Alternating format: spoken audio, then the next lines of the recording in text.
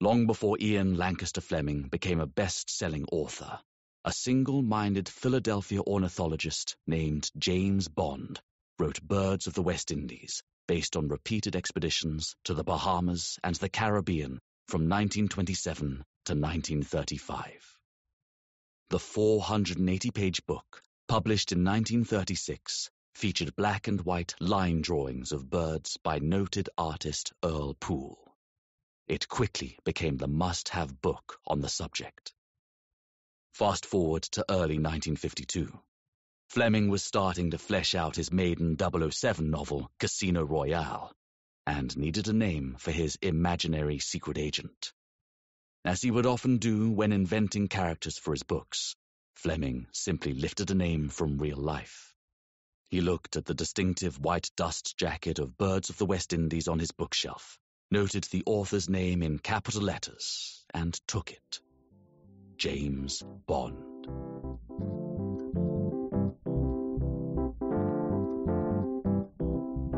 Welcome to Story Search from Special Collections. This is a podcast series that explores stories based on, inspired by, or connected to material artifacts, whether it's books or objects in special collections. And uh, I am your host, Joe Shemtov. And Andrea Lemoins is my co-host. Hey there, Andrea. Hey, Joe. What's up? We, not much, but a lot at the same. I don't know. I can't figure it out.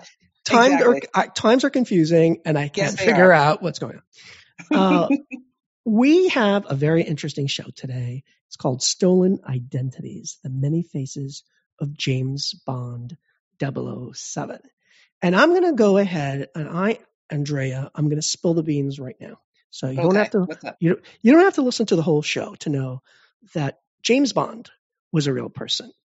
He was an ornithologist who lived in Philadelphia. Yes, uh, Philly. Philly, yes, go Philly. Yes, you can't the, tell us nothing. Yes. Right, exactly. uh, in the early 1900s. And that uh, Ian Fleming, who wrote the James Bond books, actually used his name, whereas Jim Wright, uh, the author of the book that we're going to talk about, uh, says he stole his identity uh, because Ian Fleming was also a part-time ornithologist. We have uh, James Wright. The title of his book is The Real James Bond, a true story of identity theft, avian intrigue. Uh, and also, we have uh, another great guest. We have Katie Birkwood, who hails from England, London, England. Uh, hey, Katie, how you doing? Hi, I'm well, thanks. Good. And by the way, I don't think I asked Jim. How you doing, Jim? I'm doing great. okay, good. just checking to see. Good job, yes, Joe. Yes, good thank you. Uh, Katie is going to talk about the 007. Uh, what is the origin of 007? Uh, she curated a um, an exhibition in 2016 that had to do with the library, a library that belonged to a gentleman. His name was John Dee. And he lived in the 16th century. He was the advisor to Queen Elizabeth I. And somebody had said that 007 has something to do with him. So we're going to go into uh, more depth about that. So let's start with um, with uh, Jim. Um, Jim, tell us about um, how you started writing this book and what the book's about. Give us just a, a quick um, intro about it. Sure. I write a birdwatching column for The Record in northern New Jersey, and I discovered that Jim Bond, James Bond, was in actuality an ornithologist, uh, worked and lived in Philadelphia for almost the entire 20th century. Uh, born in 1900 and died in 1989. And uh, turns out that Ian Fleming, when he was writing his first uh, 007 novel, uh, Casino Royale, he was in Jamaica. He looked down at his uh, birding Bible, uh, Birds of the West Indies by James Bond, and said, That is the name I need for my secret agent. And uh, so he stole the name, never told uh, anybody, including Jim Bond, that he had stolen his name. Mm-hmm. Uh, fast forward about a decade uh, from 1952 to 1962, uh, Dr. No and From Russia with Love and Goldfinger are coming out, and all of a sudden, James Bond, the Philadelphia ornithologist, is getting calls late at night from breathless females. Right. They say, Hello, is James there? And his wife would answer and didn't understand what was going on.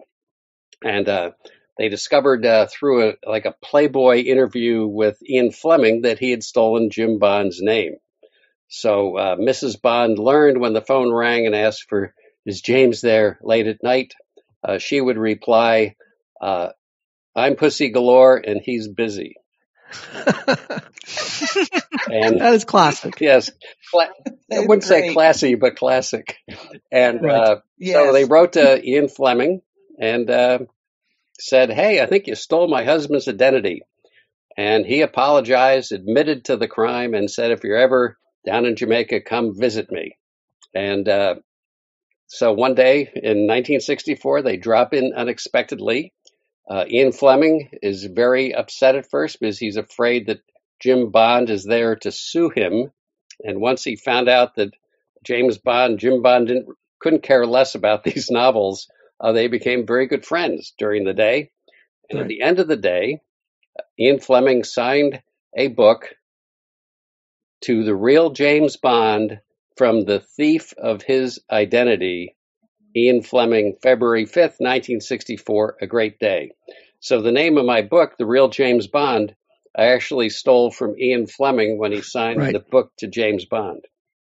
Right. Everyone's stealing each other's identities. We're going to get yes. get into that because your book is a lot deeper than that. Ornithologists stealing other ornithologists' identities, and um, I guess I know you probably want to continue. Um, now's a good time to point out, uh, and you, I maybe I should have mentioned that in the beginning of the of the interview. Uh, where does the Rare Book Department, where does the Free Library figure into all of this? Uh, mm-hmm. it, the Free Library was invaluable.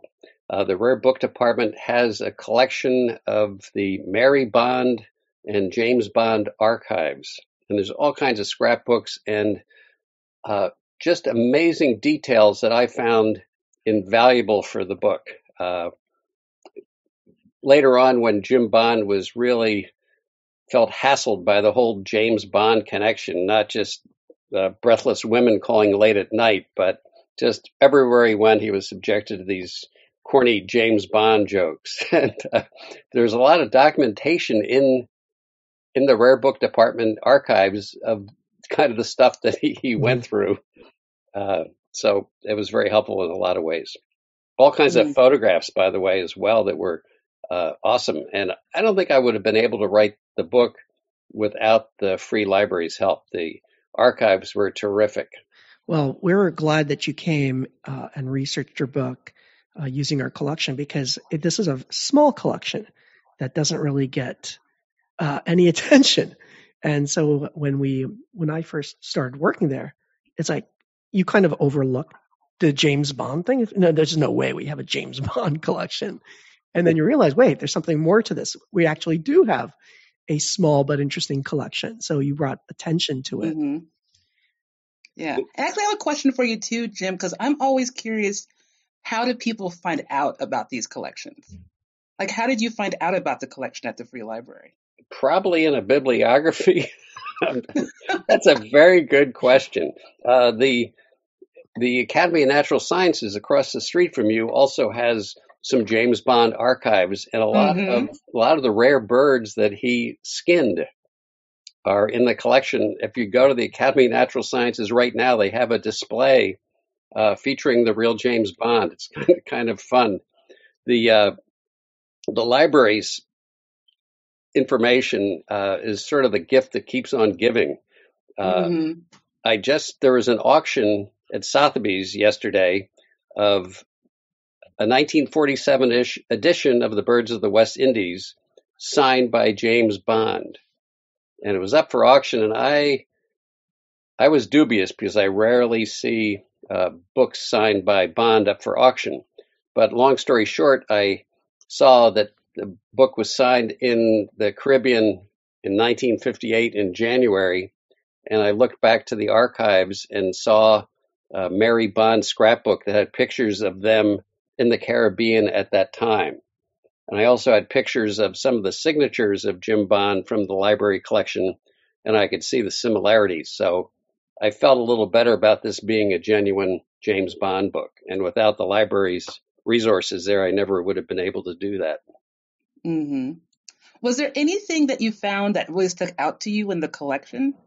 Like anything fun or odd or that's really caught your imagination going through that collection? Well, I'll give you two examples. One is uh, one something that I found, and then something I didn't find. Uh, what I found was a Corgi uh, Aston Martin DB5, a little toy uh, Aston Martin, just like Oh, wow. 007 drove in Goldfinger, complete with the ejector chair and the little and the little machine gun. I remember you're showing And it to me. yes, so Jim Bond can't stand the connection, but here he has he has this little toy uh, Aston Martin, and he also apparently had uh, a 007 vodka bottle in the collection also. But Wow. Which when I was going, was that bottle from the from the set? Was it or is it just kind Yeah. of a, a souvenir or?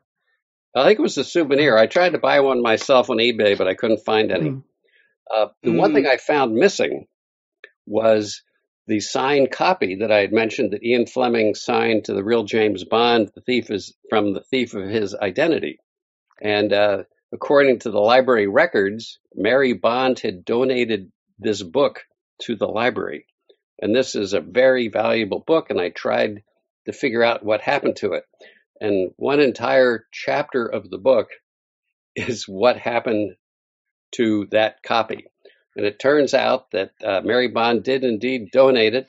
A friend of her told her it was worth a lot of money. Katie Birkwood, cover So, your ears, by the way. This is a part you don't want to know. so uh, the uh, Mary Bond called the library and had an assistant bring her the copy of You Only Live Twice, signed by Ian Fleming to her husband. And instead of returning it, she had it put up for auction at Sotheby's, and it sold for thirty-two thousand dollars. what? I think we should recoup our money. Yes, and then it was What? it was later resold at auction for uh, including all the fees and stuff over eighty four thousand dollars hmm to to an anonymous uh, collector. And I said in the book, you know, this book donated by Mary Bond should have been in the public view where all of us could see this Right. book at the rare book department, and instead it's in some collector's library for his or her eyes only. Right. Well, we love you, donors, but once you give it up, Yeah, it, you got to keep yeah, it. exactly. So the one funny thing about once the book came out, I got this uh, Facebook messages trying to locate Jim Wright, blah blah blah. Long story short, I found the guy who bought the book, Oh, and he lives in the Midwest, and uh, it's one of his prize co- of his James Bond collection. So it's in good hands, but I wish it were in the public hands. right. So, uh, right. thank you, uh, Andrea, for asking that question because I'm not sure, Jim, when you were researching your book, if we had that finding aid. So, part of uh, a challenge for all special collections is making your stuff discoverable.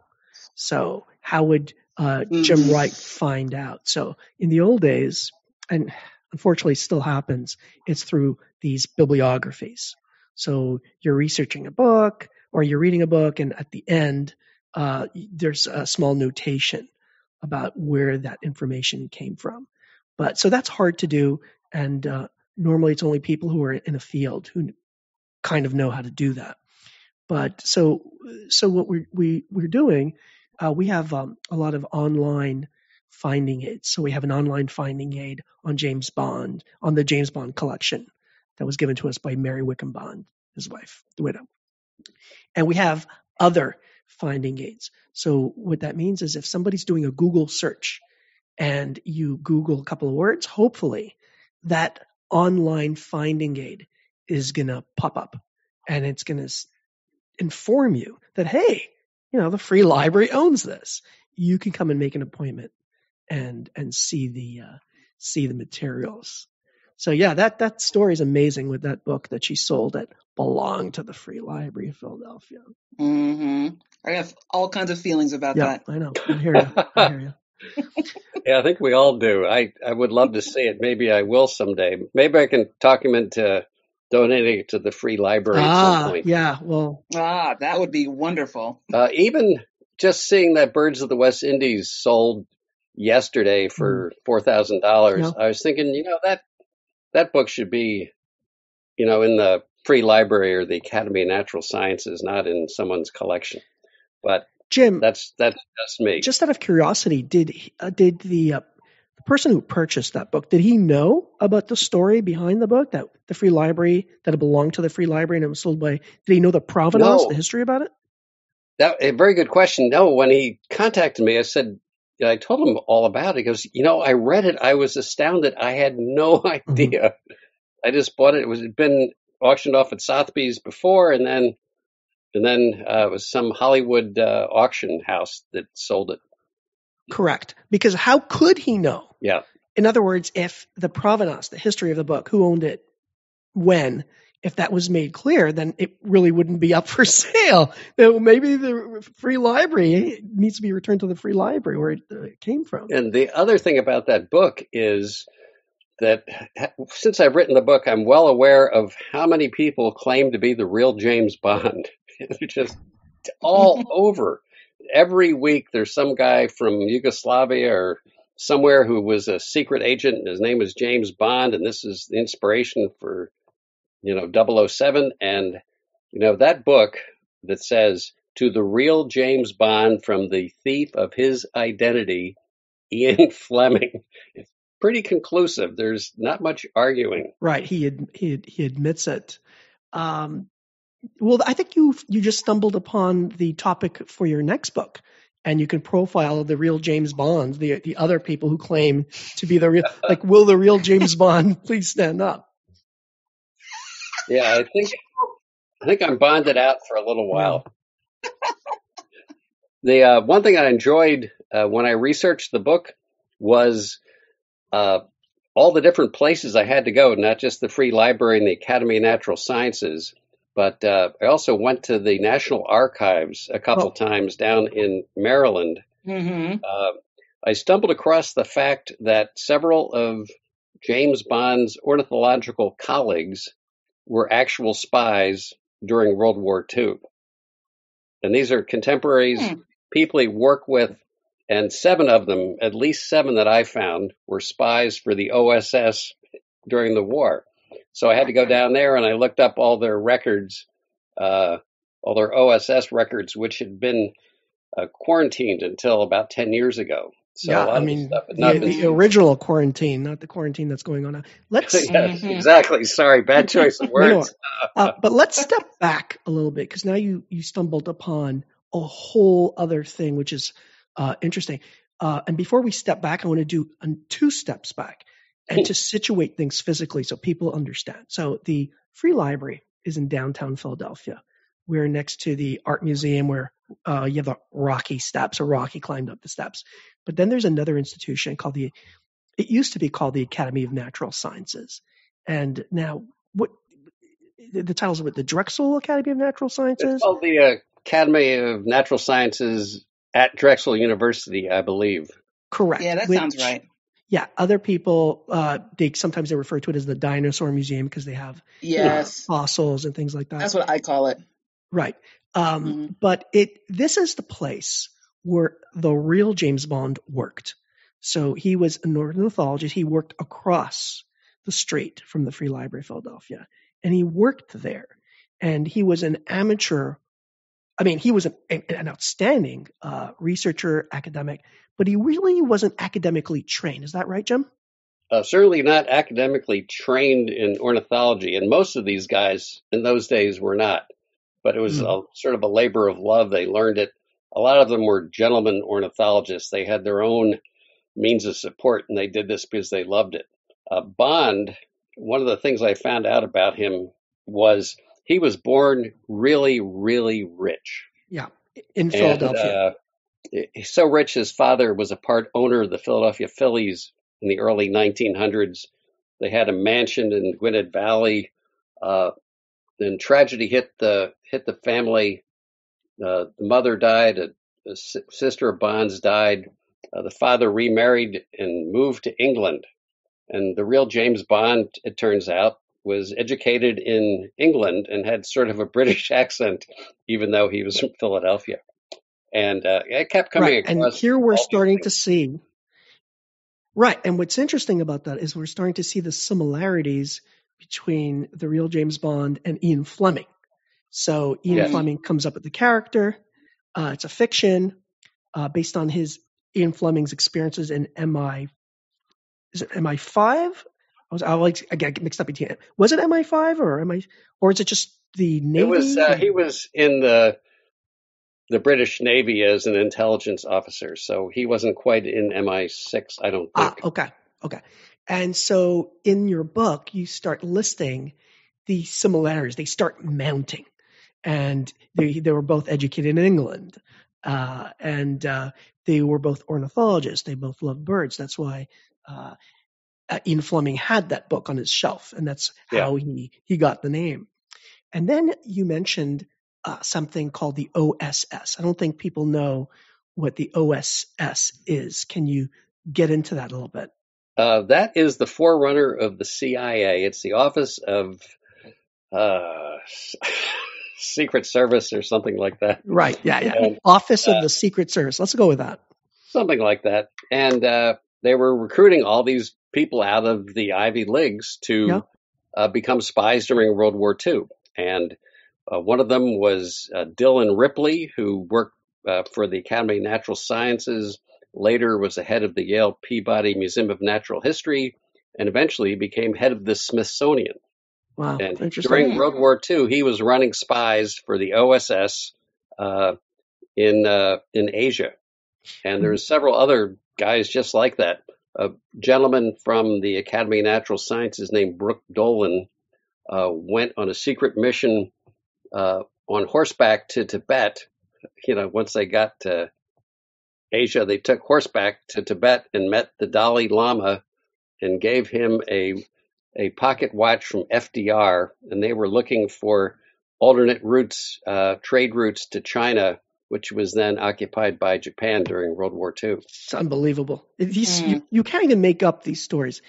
And what makes an ornithologist a natural or a good candidate to uh, be in the OSS or the precursor to the CIA?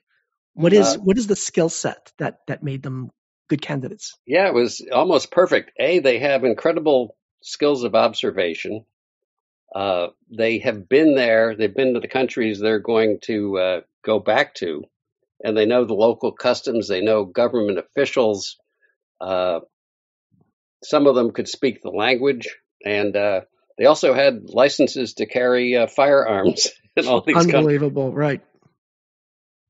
There's a, a line in your book, and I forget which ornithologist um, you were referring to, but he's contacted because because you profile other ornithologists. It's not only Yes. James Bond. And in fact, I want to take um, I, I want to take another step back.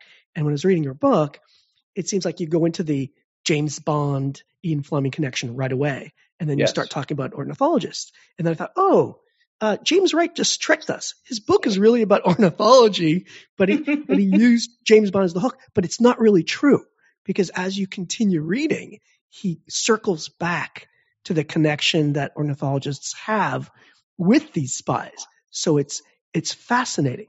And so he gets so one ornithologist, I forgot his name, you know the name, you wrote it, it's in your book. Hmm.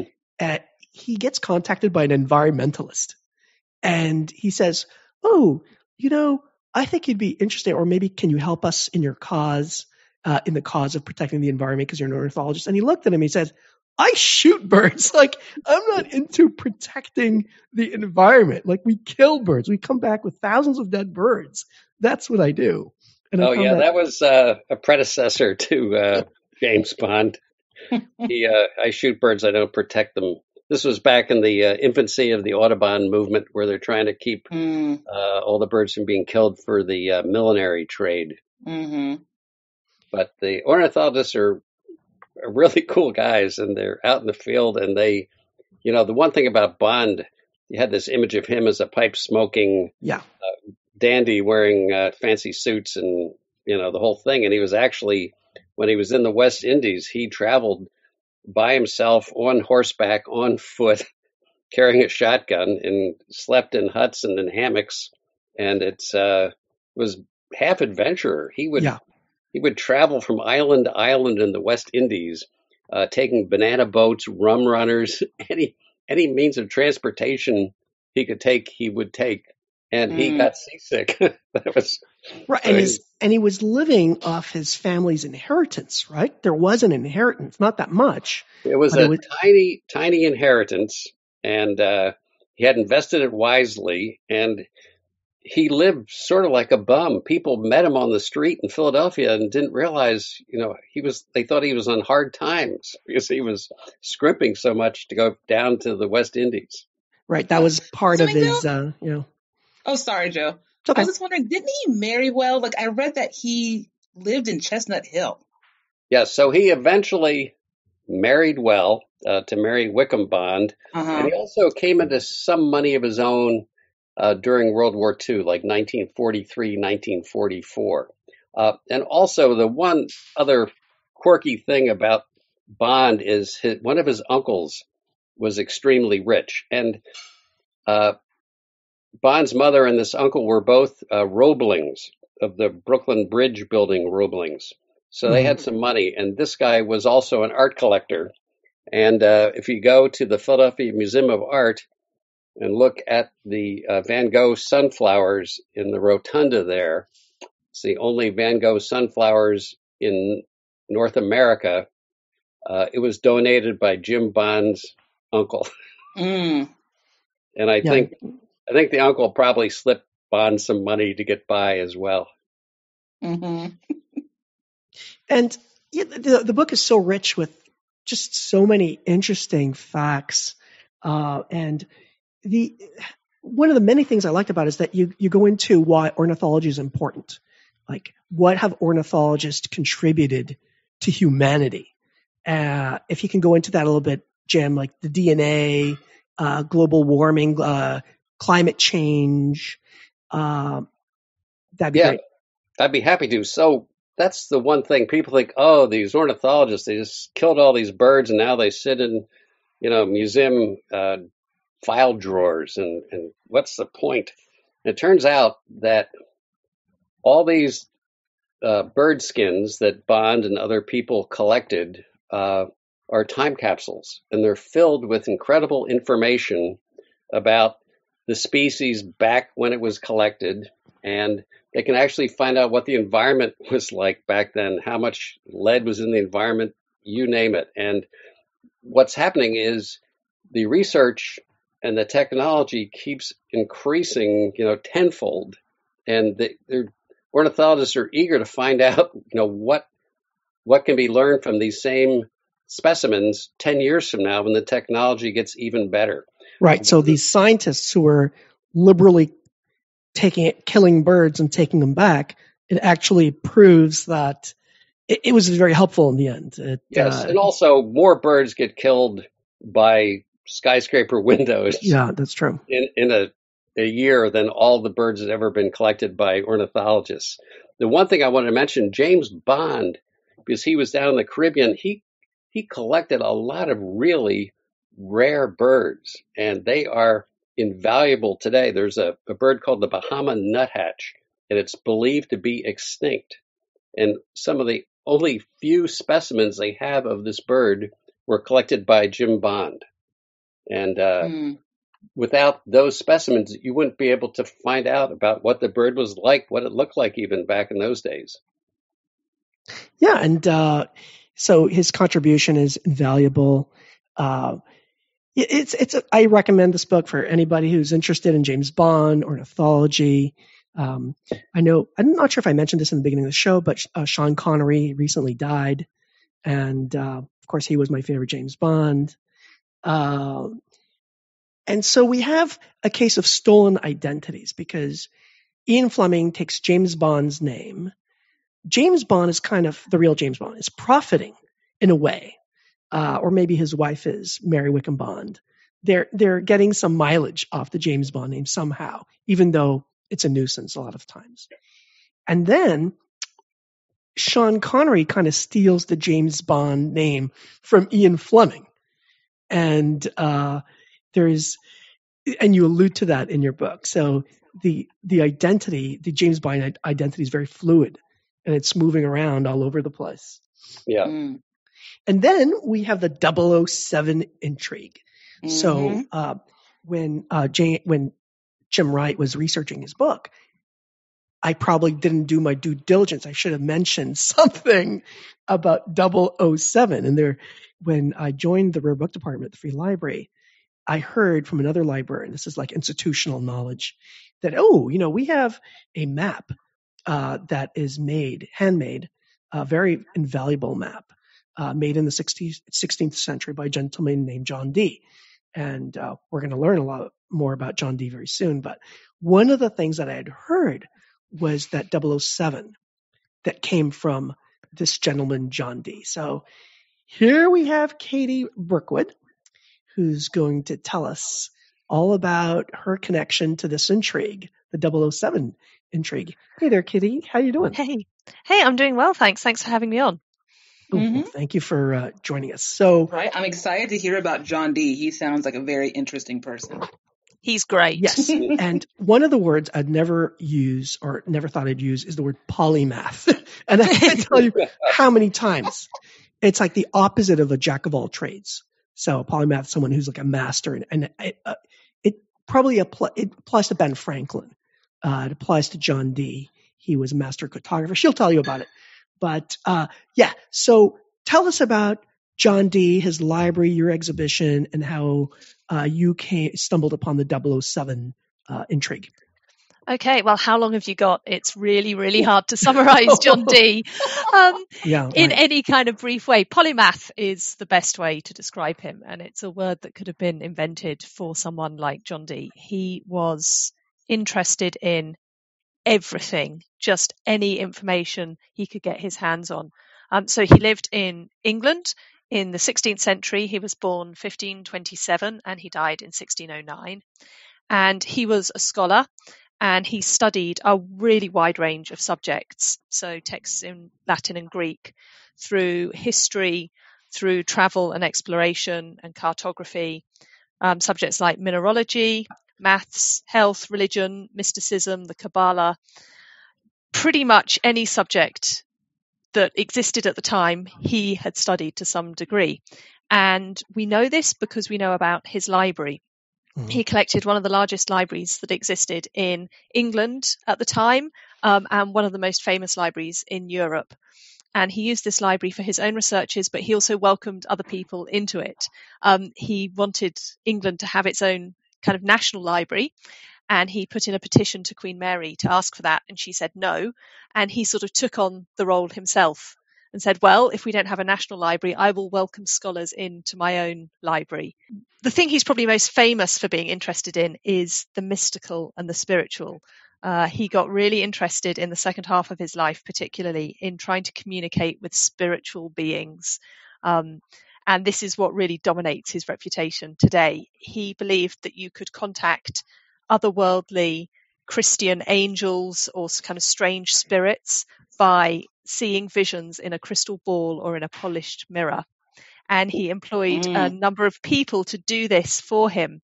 Um, the most famous of those was a man called Edward Kelly, who was with Dee for several years. And uh, Dee would um, set up a magical table with mystical objects on it um, and a crystal ball in the middle. And he and Edward Kelly would say prayers and kind of supplicate themselves to a higher power. And then Dee would sit Kelly down in front of the crystal, and Kelly would report on the visions he was seeing, um, which Dee thought would reveal information about uh, the future, about religious truth, about the political situation, about anything you, you care to name in life. Um, and he recorded these visions in a series of diaries uh, that are preserved in um, a couple of libraries in the UK at the Ashmolean. No, sorry, they were in the Ashmolean, uh, Ashmolean Museum. Uh, they're now in the Bodleian Library in Oxford um, and in the British Library in London. Um, so he's a really, really interesting character. And is is that So, how was Queen Elizabeth using John Dee as an advisor? Was it the mystical part? Was it cartography? Was it no, so it wasn't. I think Dee would have liked to have been advising her from his mystical in um, kind of investigations, but the advice he really gave to her was much more practical. So it ranged across a number of topics. Um, one of them was definitely cartography and exploration. So um, Elizabethan England is a time of huge expansion um, in naval power and exploration of um, foreign to us lands. Um, mm-hmm. And Dee is advising Elizabeth about this. Uh, he draws her maps.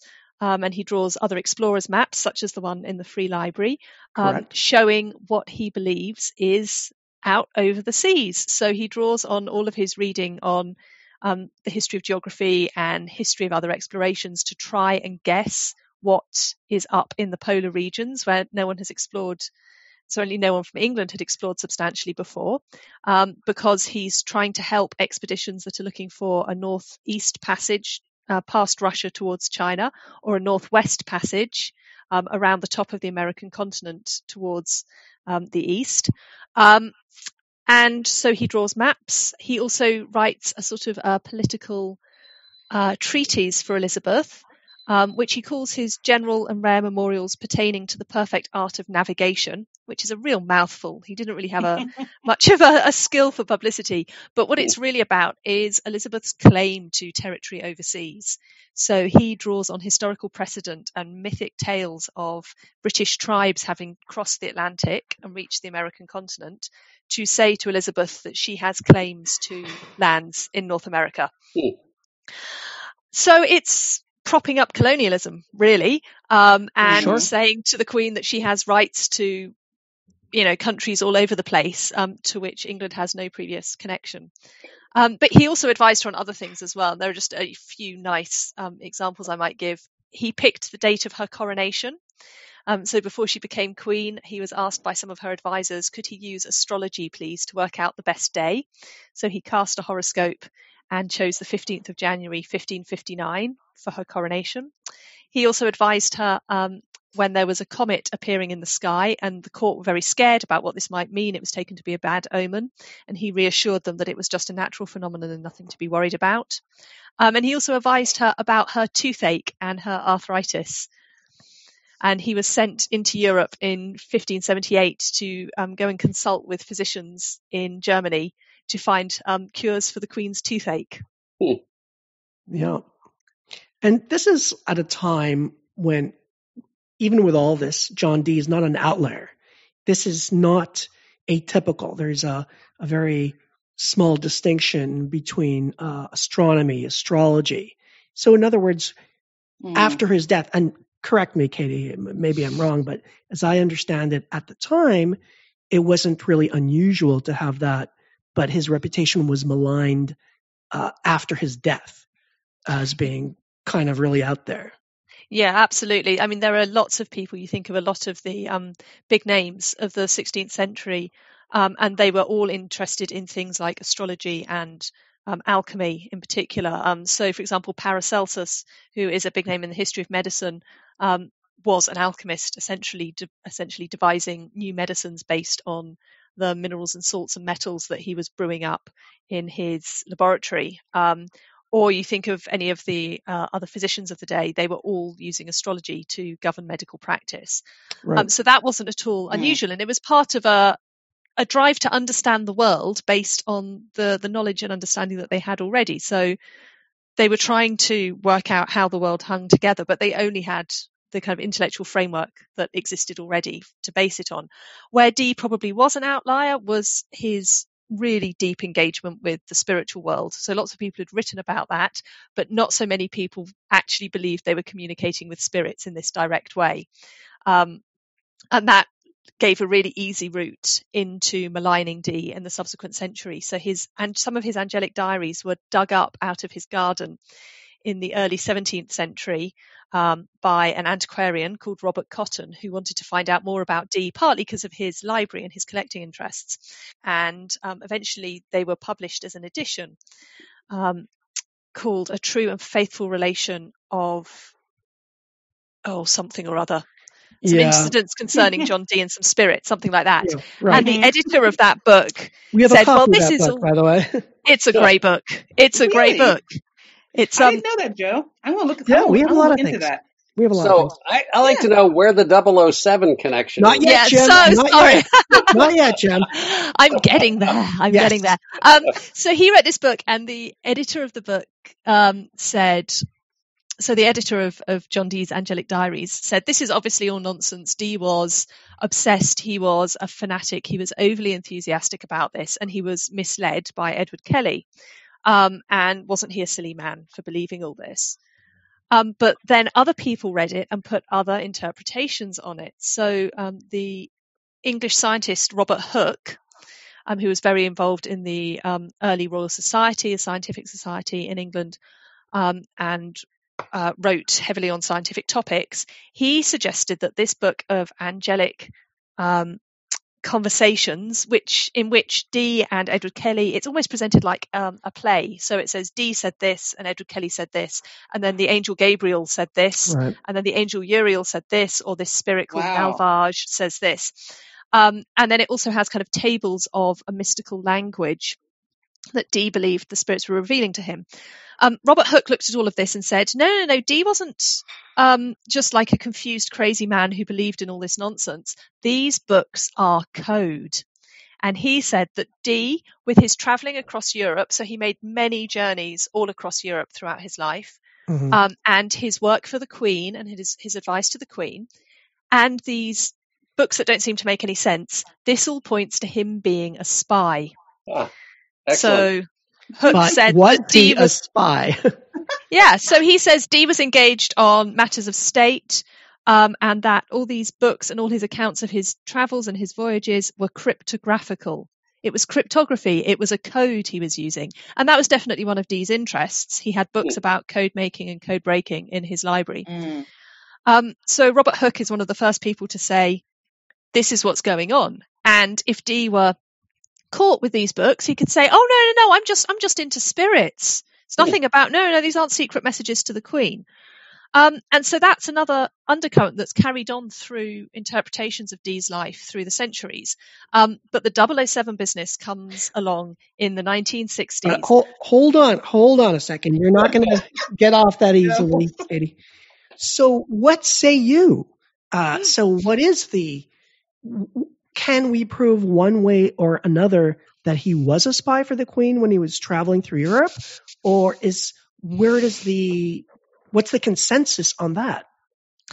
Um, so my feeling is Mhm. that we have to understand what a spy might be at that time differently Right. to how we'd see it today, because you know today you are officially employed by a secret service. MI6 or the CIA or something, and you were sent off on a mission, and they'll deny all knowledge later. But there's there's kind of an organisation there, and I think in the 16th century, it's a much looser network of informants, and to the extent that there is any kind of um, secret service or that there is a, a spy master Yeah. to Queen Elizabeth, um, you know, usually said to be Francis Walsingham, he's not forming a, a distinct network, but he's gathering information from wherever he can. Mhm. So it's quite likely that Dee brought some information back with him from his travels on the continent, and whether that was secret information or whether it was just useful information about, you know, it might have been about the latest fashions, or you know, a bit more. It might have been a bit more to do with intrigue. I don't think he Fascinating. was. So- Yeah, I don't think he was formally employed as a spy because right. He's not a James Bond figure. He's not suave. He's not charming.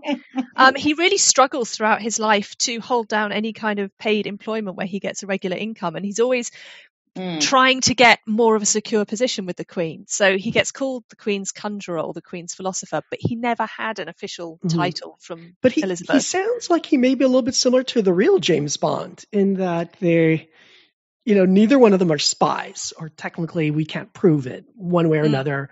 Uh, you said that, well, you have to understand that back in the 16th century, there wasn't really such a thing as spies as we know it today. Uh, so there, is, I can see some similarities. Uh, Yeah, and they're both- I mean, the two they're in, really- in an interesting way. yeah, they're both really dedicated to their studies and their researches. Um, I Mhm. don't think Dee went out shooting birds very much. Um, but he was he was interested in the natural world. He was interested in in study to the exclusion of almost all else. So he he went on these extraordinary journeys, taking sometimes taking his family with him, sometimes not, um, to further his research interests. And I mean that sounds a lot like the real James Bond, who was you know traipsing around uh, Right. the Yeah. Caribbean islands, you know, looking looking for his birds. Kind of, it And sounds like it was kind of to the exclusion of almost everything else, Jim. Yeah, they're also both affiliated with Trinity College in, Yes. in England. And Yeah, so, kind of yeah. small world as well. But that's an amazing story about uh, Dee. I didn't realize how, how polymath. That's the word for Yeah, it. very, very poly. So here you are, uh, Katie. You're Mhm. working on curating this exhibition. You're gathering his books, and Yeah. you're re, uh, you're restructuring his library as much as you can, Mm. and then, then you stumble upon this 007 uh, rumor. Tell us about. Now we're ready for you. We're Now we're ready for it. Okay. Yes. Um, so if you read any popular account of John Dee's life, so if you look him up online or um, you read about him in guidebooks to historical sites where he's mentioned, um, for example, Manchester Cathedral in the north of England, um, some of the guidebooks written about that mention this apparent fact that John Dee was the first 007. Um, and it is said and it is repeated very often that when he was writing his spy letters, his informant's letters back to Queen Elizabeth and to Francis Walsingham and, and other um, ministers of her court, he would sign his letters not with his name, but with a cryptic signature that looks like two zeros or two letter O's, followed by a long elongated seven. Hmm. And the story goes that Ian Fleming heard about this and adopted that as the other part of the identity theft for his spy that he was writing about. The only problem with this story is that I have never been able to find any evidence for it. So, as far as I can tell, it first pops up in a book that was published in 1968 um, by a man called um, Richard Deacon, which is a pseudonym for Donald McCormick. Mhm. And Deacon McCormick uh, wrote a load of books throughout his life about spies, all sorts of different spies. Um, he's said to have served in some sort of secret service or intelligence office in the Second World War, um, and it clearly took root with him because he's he wrote lots and lots of books, um, many of which I think are hard to verify about these topics. And his book on Dee is called John Dee, Scientist, Geographer, Astrologer, and Secret Agent to Elizabeth I, which is a Amazing. great title Yes. Right? He gets straight in there on page four of the books of, of the book. He says that Dee's letters to Elizabeth were signed, quotes, with two circles guarded by mi- by what might have been a square root sign or an elongated seven. And he prints a little picture of this, which absolutely looks like something that someone has just drawn for an illustration in 1968.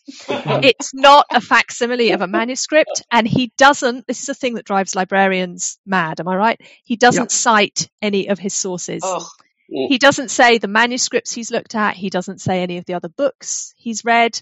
He just puts this out here with no proof.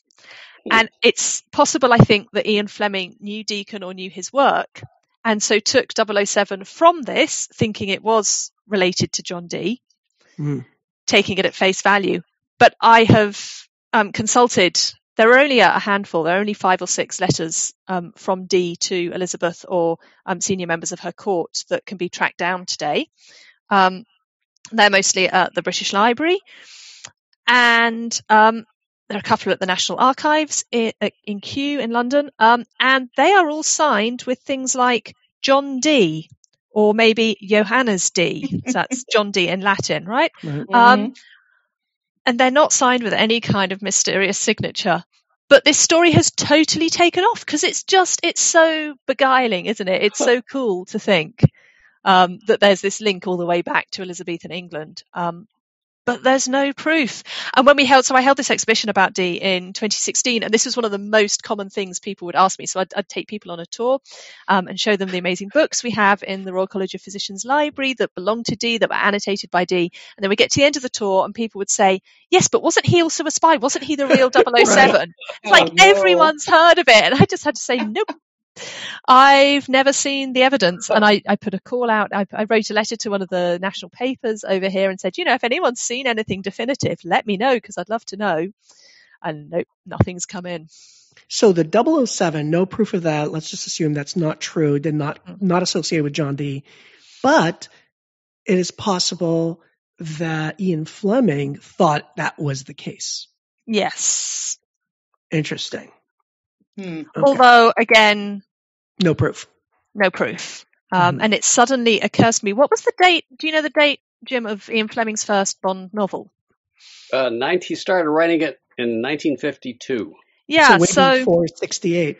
I this is well, yeah, this is well before 68, so it's almost certainly the other way about. No, so but, that so we can say right now yeah. that there that's not true. That and Fleming died in 64. Right. So mm-hmm. so he didn't know about that. He connection. didn't know. No. Okay. And anyone who and it gets written online really often that he took the idea from from Deacon's book, and it's yeah, it's just not true. Beware what you read online or in print. Yes. Just beware what you read. If it looks too yeah. good to be true. But it's interesting that we can use a sexy topic of spies and and that type of thing to bring attention to John Dee and his work and mm-hmm. ornithologists and why they're so important. So there is that hook. That's what kind of captures the imagination of a lot of people. And then uh, in special collections, we're, we're always kind of looking for something that's kind of shiny mm-hmm. and attractive to at least uh, make people interested and then get into it in a, in a little bit of a deeper way.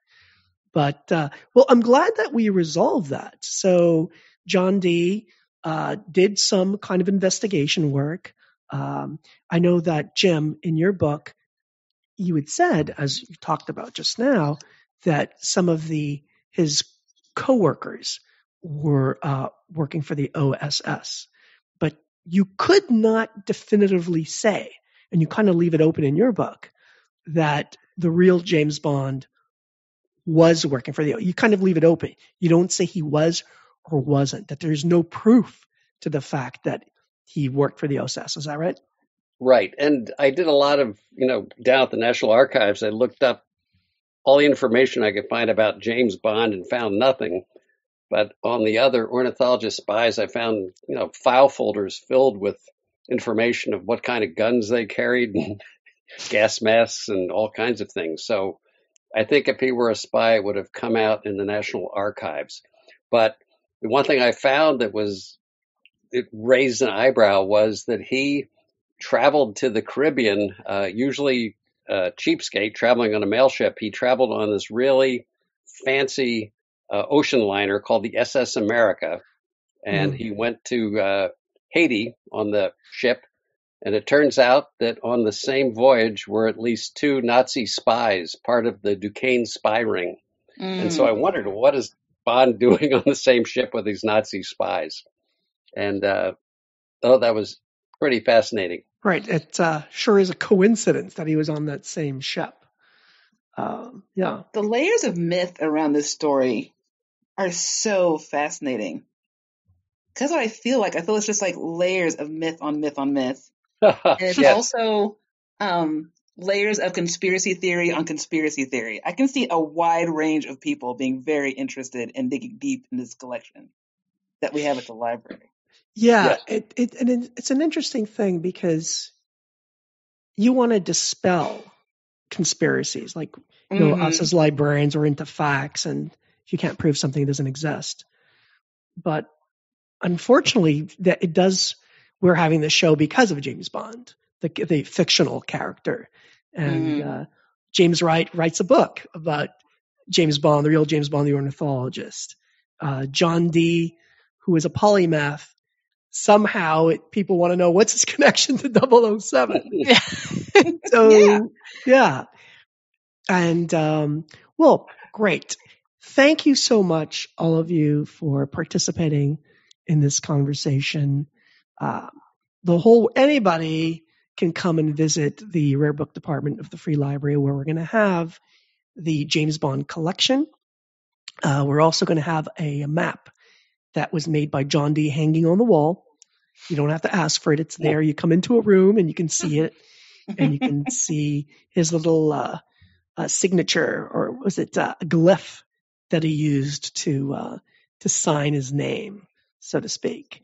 But uh, thank you all for for participating with us in It this fun. conversation today. Thank you. Thank you so much, Yeah, and we thank you, Jim and Katie. Like this was, I learned so much, and your expertise is just brings so much life and light to the collection. I learned a lot myself. And Yeah, I me wish I, too. I wish I could have seen your exhibition. I was actually flirting with the idea of going to uh, England to see it. Well, I'm honoured to think you even considered that. It's a long way to come. Um, I hope one day maybe to make a bit more of it available online, but you know, time and resources and all of that. Yep. All right. Well, thanks a lot, everybody, and uh, see you uh, next time.